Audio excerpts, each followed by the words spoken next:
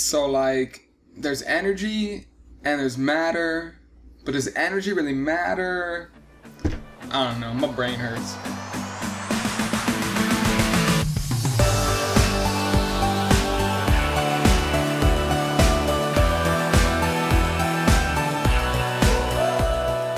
The focus of 4.2 is all about energy flow in ecosystems.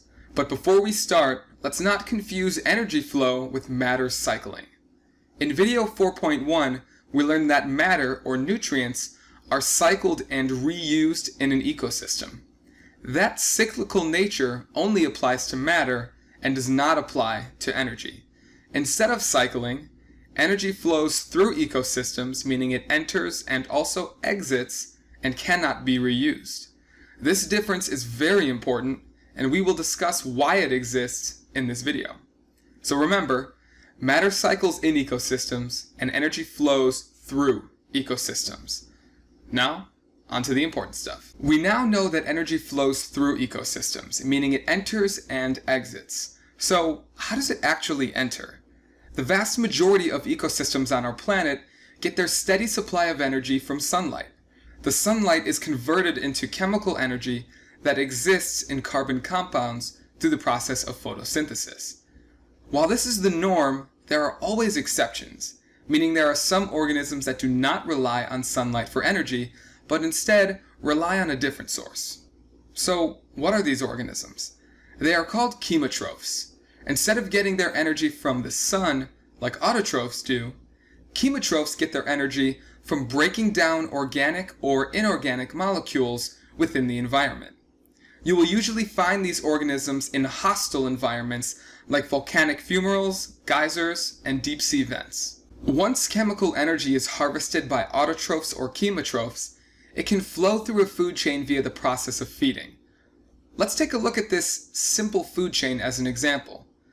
The grass is an autotroph, so it uses energy from the sun to create carbon compounds that it can use to make ATP. The grass is making energy for itself to live, and everything is going well, until the grasshopper comes along.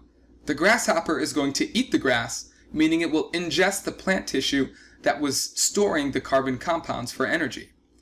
When these carbon compounds are broken down in the grasshopper, the grasshopper can then use the stored energy to make ATP for itself.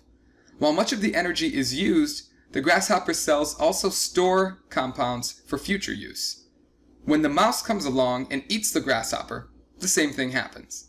It steals its carbon compounds and uses them to make energy for itself.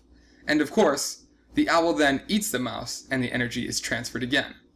Understanding feeding relationships allows ecologists to construct food chains and food webs to better understand how energy moves through an ecosystem.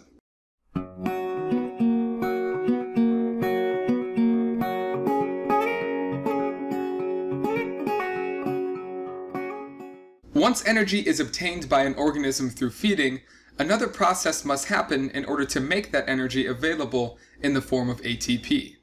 This process is called cellular respiration. As seen in the picture, cellular respiration breaks down carbon compounds, like glucose, to form ATP.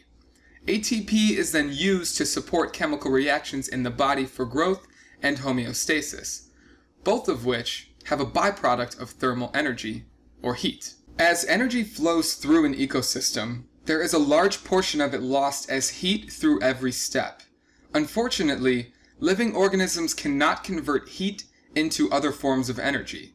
This means once the energy is converted into heat, it can no longer be used in the ecosystem. Remember when I said energy enters and exits? Well, this is how it exits. Organisms radiate heat into the atmosphere that is lost to the ecosystem. The good news is, we still have sunlight bringing in more energy to support the needs of the communities. This always begs the question of, well, what happens when the sun burns out, as we know it will at some point? Lucky for us, we don't have to worry about that for another couple billion years. As stated before, energy is lost as it is transferred to the next trophic level of an ecosystem. But how much energy is lost? The general rule is that about 90% of energy is lost from one trophic level to the next. Therefore, about 10% of usable energy is transferred. This energy pyramid shows energy quantity in joules as it moves through a food chain. The sun emits very large amounts of energy, so much that primary producers can't use all of it. What they do take, they use it and store it in their tissues. Let's say that's about 10,000 joules of energy within the entire ecosystem. When the primary consumer feeds on the producer, about 10% or 1,000 joules of energy is transferred and can be used, leaving the other 90% lost into the atmosphere primarily as heat. Then, the secondary consumer feeds on the primary consumer, again taking 10% of the usable energy, or 100 joules, and leaving 90% lost to the atmosphere. The same process then happens again for the tertiary consumer. The massive amount of energy loss between trophic levels restricts the size of the food chain, because the higher up we go, the less energy we have available for the next organisms.